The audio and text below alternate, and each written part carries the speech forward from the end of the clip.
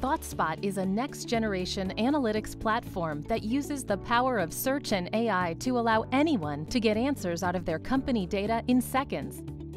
In the latest release of ThoughtSpot, we've made it fast and easy to analyze your data at multiple levels of granularity in a single visualization.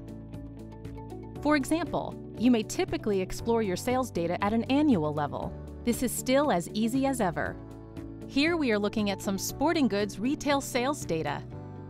But maybe you want to ask about average monthly sales on a yearly basis. Most analytic systems struggle to calculate and present similar metrics at different granularity side by side.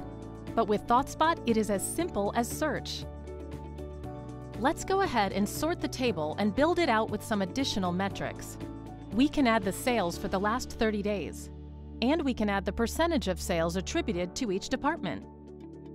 And let's filter to a few specific departments we want to see.